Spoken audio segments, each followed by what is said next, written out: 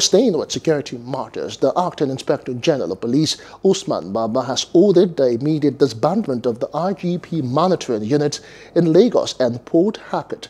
Baba gave the order in Abuja at the opening of a conference of police strategic commanders consisting of officers with the rank of Commissioner of Police and above.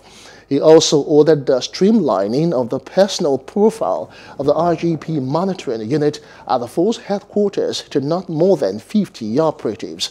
Baba announced the banning of the unit from undertaking criminal investigations, including taking over of cases from police commands in state.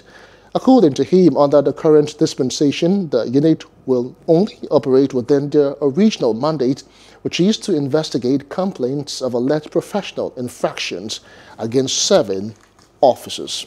Hello, hope you enjoyed the news. Please do subscribe to our YouTube channel and don't forget to hit the notification button so you get notified about fresh news updates.